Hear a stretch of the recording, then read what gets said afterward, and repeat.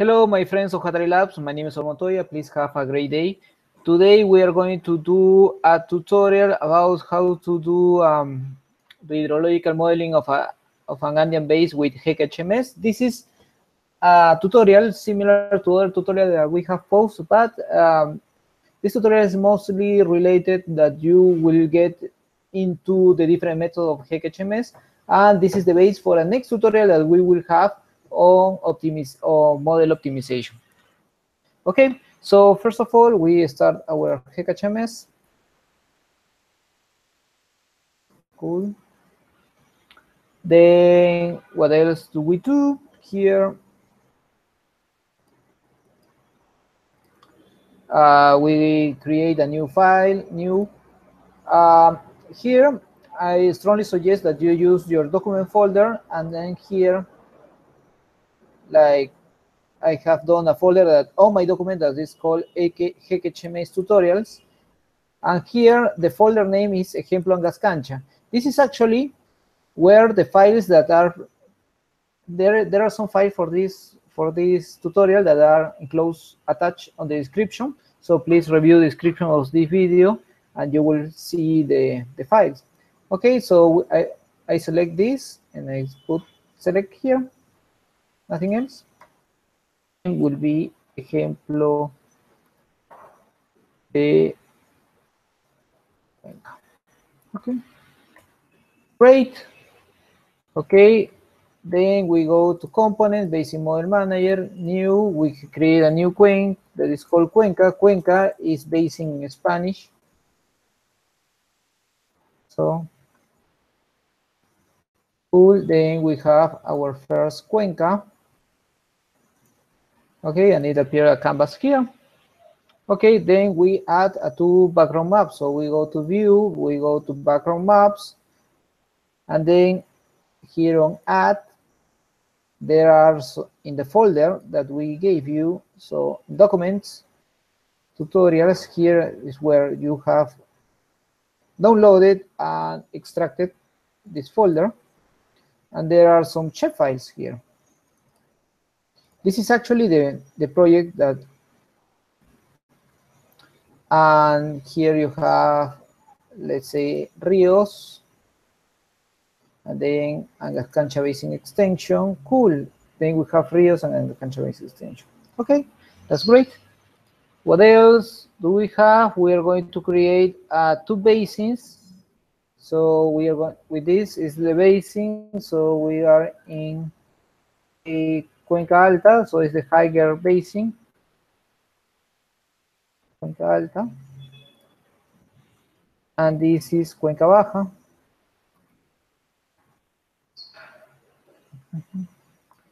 Great, and then we have a sink, or this is the discharge of the basin that is called punto B.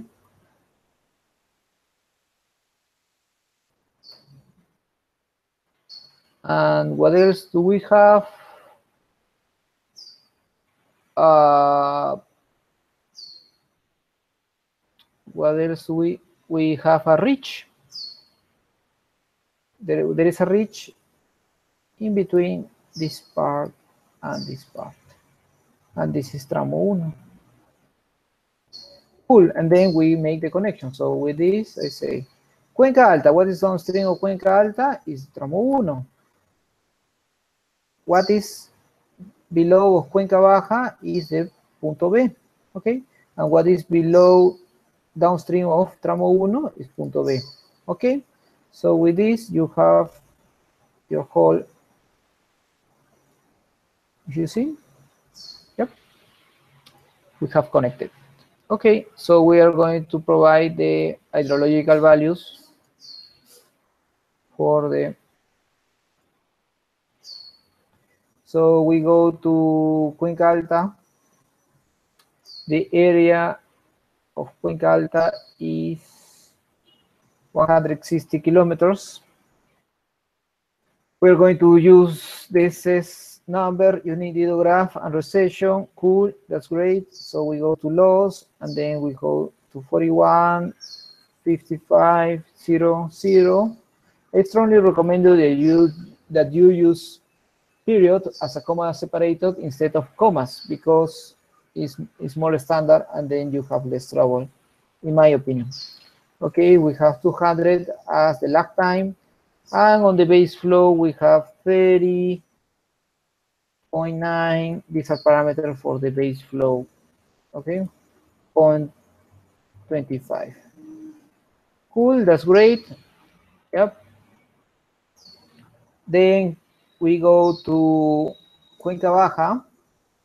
And on Cuenca Baja, we as well put on sub-basin of Cuenca Baja, punto B. Ah, no, Cuenca. Oh, sorry. My mistake. Those, I made, I made a mistake.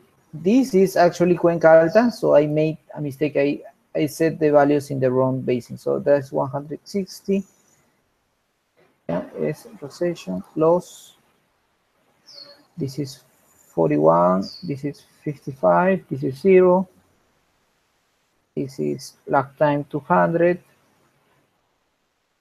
On base flow, this is 30.9.25. Yeah, okay. And for Cuenca Baja, this is 53. 53. Yeah, SCS, hydrograph recession. And on the loss, this is 68 millimeters. 43. 4300 as impermeable. Transfer 120, so the lag time is lower. And on the base flow is 21, 0 0.95, 0 0.3. Cool. Okay, so you have values for Cuenca Alta and for Cuenca Baja. Okay, that's great. Then on the tramo 1, we are going to use Muskingum. Okay, and the tramo is not gaining and not losing any water. Okay, ah, and then the Muskingum parameters are 1, 0 0.2, and sub reaches, let's say 5. Yep, so 6, 5, 7, okay. Cool, so we save it, okay. Then we go to components, we go to basic Model Manager, to, no, we go to Time Series Data Manager, and then we are going to, pre, to put a precipitation gauge that is called Estación 1. Yeah, and here precipitation gauge is manual entry incremental millimeters every hour. Okay, here you define the hour. Okay, that's great. So, and our simulation time is the 1st of January at 0000 to the 1st of January at 8. Okay, please remember this. You have, this is related to the format value of your date. So if you are in English date form from the US or so on, you will have January, so on. So please keep in remind this. This is strictly related to the format of your date. Okay? Cool. And so then we go to table, and on the table, since we have from 0 to 8, so we will have 8 spaces. So 7, 25, 18, 35, 23, 28, 2, and 6. This is our this is our storm. Okay, cool. Then we create another one that is called okay station 2 so we go components time series data manager and we create a new one that is called station 2 okay here and this is as well from the every hour time window is to the 1st of January at 8. Okay, it's every hour at 8. Okay, and here we have eight values that we have. That is 4, that is 26, that is 14, that is 30, that is 18, that is 25, that is 3, and that is 4. Okay? Here we have, and then the graph is this one. Cool, that's great. So we create a new meteorological manager, components, meteorological manager, new met1 is okay. I like to uh, to see this is more order. I mean, I for more order for me, just to minimize this. Okay, and then I have my meteorological man, and on my meteorological man is this is specify yetogram. Yeah, and replace missing is set to the false. Otherwise, uh, if it's fit, if, if some value is missing, it will replace with zero. Well, with zero because you have set zero as default. Okay. Uh, the Unix system is metric. Please remember this. And then on basins, we we say includes basins. Yes, because we want to include the basins. And then on specify yetogram, we say that the Cuenca Alta is related to Estación 1 and the Cuenca Baja is related to Estación 2. That's great. And then on control specification manager, yeah, we said that component control specification manager, we create a new control. This control one, control specification manager.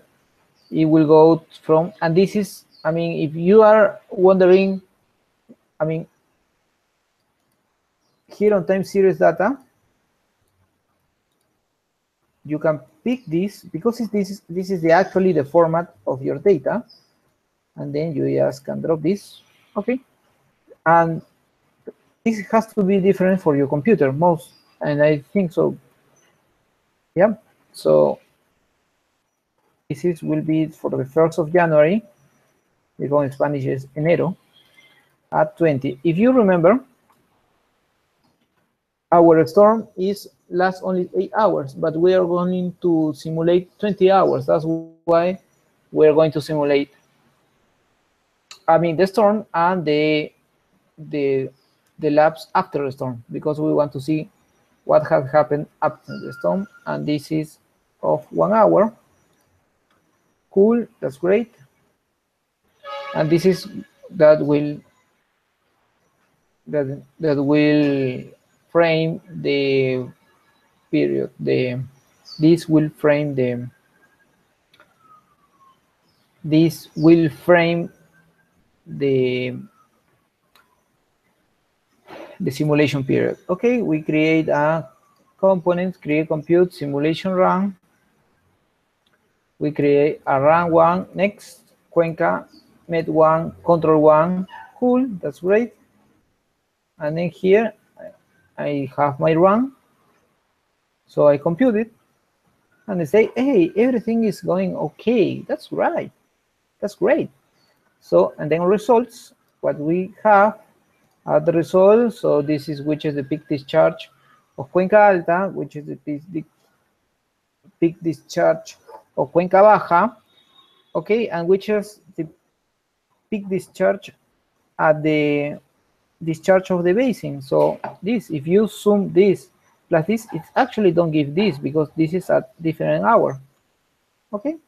So we can have the hydrograms of the first, of the high basin of the Cuenca Alta. So this is the precipitation, on red are the losses, these are the transformation, the base flow. You can play around with the, you can play around with the, with this data, yeah, because uh, um, you can, I mean, you can play around with this data in order to, uh, to, to, if you have a better feeling of what is the base flow. Yeah. And on Cuenca Baja as well, yes, you can play around with this data if you have a better feeling of what is the base flow. Yep, and then on tramo 1, we see how the how the inflows from the Cuenca Alta goes and what is going out. Okay, that's right. And on punto B, we see which is the inflow from Cuenca Baja, which is the inflow from Cuenca Alta, and what is the mix in between those inflows. Okay. Cool, that's great. Great, that's great. Okay.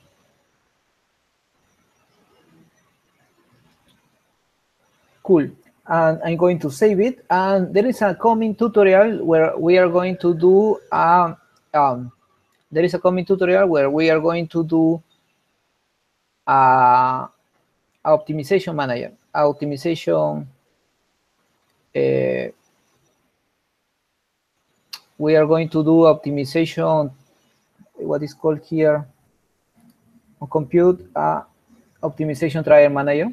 So, and I hope to see you in the next tutorial. And you will have the input data for this tutorial on the description of this video. My name is Saul Montoya. I actually come from Hatari Labs. What is Hatari Labs? Hatari Labs is a blog dedicated to knowledge sharing on open source software in water resources. So we have a lot of tutorials and these um, the coming tutorials, maybe we are going to do seven tutorials on HEC-HMS. Yeah. So you will have a good documentation if you are doing your master thesis, you are doing your research or something like that. Uh, it will be much fun to that you follow these tutorials. It are based on what we have seen on the website, on the web. Uh, is the best. This is the is it has to be a good reference besides the tutorials and manuals made by the by the HEC, the U.S. military corps of engineers. Okay, you can subscribe to our newsletter here. You can drop your email and you will receive a newsletter twice per week. And as well, what else? Uh, we have some webinars, coming webinars, and as well we have some courses as well. Okay. So in this course, uh, on the future, we will have courses. Right now, we have webinars. You, if you have a question for us, you can drop us a contact form, and then we will answer. Um, I mean, we don't do the, your homework, but we can we can answer what what we can if there is a short question or something like that. So, and then you can follow us by Facebook and Twitter. Okay. So please have a great day, and I hope to see you in, an, in the coming tutorial of the uh, trial of the optimization simulation. Okay, great. See you. Bye-bye.